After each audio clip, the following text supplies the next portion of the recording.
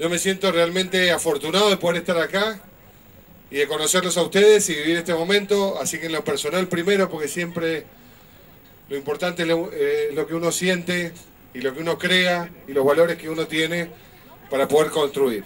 En segundo lugar, traerles un gran abrazo al gobernador de la provincia de Mendoza, el licenciado Alfredo Cornejo, y decirles que esto es una muestra de que juntos se puede. Pasaron casi 60 años, Jorge, y mirá dónde estamos. Gracias a gente como vos, a gente que luchó desde un principio porque entendió que somos un solo pueblo, no dos pueblos. Y eso es lo más importante y por eso tenemos que bregar, porque somos todos seres humanos, hermanos, y que nuestra tarea simplemente es reunirnos para estar mejor, para estar de a poco creciendo, desarrollando nuestro único y gran pueblo que es el pueblo de Latinoamérica. Así que primero que nada, felicitarlos por estar acá.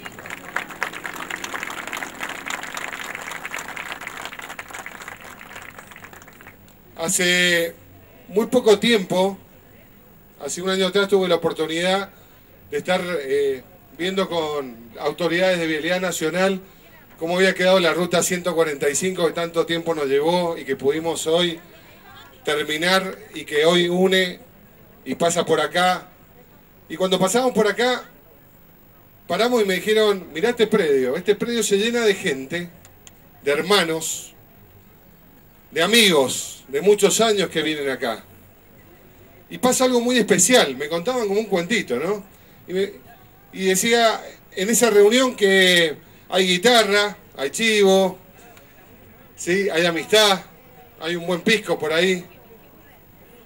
En esa reunión hay comunidad, en esa reunión hay pueblo.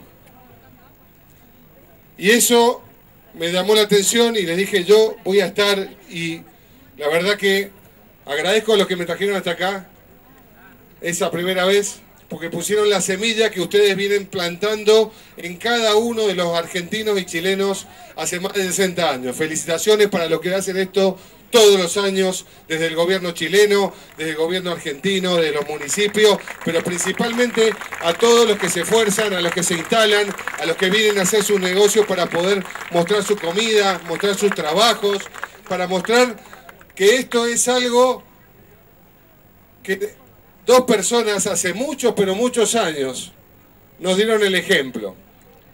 Y si esas dos personas que pusieron de acuerdo a dos pueblos, a dos naciones, los convencieron y los, y los guiaron hasta un lugar en el cual luego tuvimos la oportunidad de decir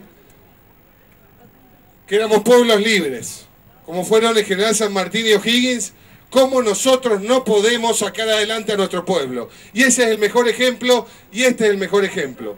Pronto van a pasar camiones por acá. Y eso es una muestra de cómo con perseverancia y con trabajo sacamos adelante las naciones. Y de eso se trata. No lo hace una persona, lo hacen ustedes, lo hacemos las miles de personas que estamos acá. Viva la Argentina y viva Chile.